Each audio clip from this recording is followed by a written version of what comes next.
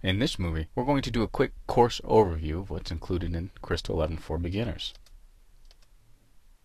Right out of the gate, we come out swinging as it were. We're going to create a basic report. This is going to walk you through step by step, and as you do, hopefully, you will learn. In this first chapter, Create a Basic Report, we're going to learn how to connect to various data sources. We're also going to get to know our data source as well as we report wizards, including tables, fields, and grouping and filtering. Next, we get into designing the basics of a report. This includes the Crystal work area, grouping, filtering, inserting summaries, previewing, and exporting reports. Chapter 4, we kind of circle back, and we create a report beyond the normal basics. We delve deeper into the reporting wizards, as well as deeper into grouping data, inserting summaries, and understanding fields, dimensions, and metrics, as well as more select export and export activities.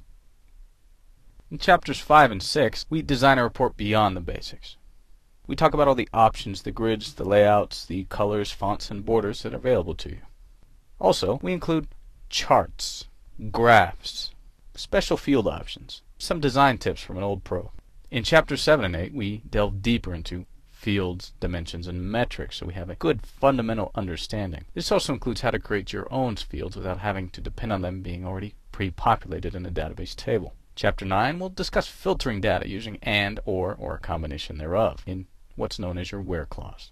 In Chapter 10, we review the report templates that come with Crystal Reports. These are the kind of layout and design options that you can choose from if you find them useful. In Chapter 11, we talk about modifying an existing report. Many times, a report just needs to be tweaked slightly, or fields rearranged, or a field added.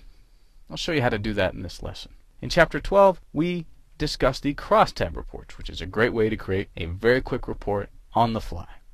One of the most common questions I get involving Crystal also has to do with its exports to Excel.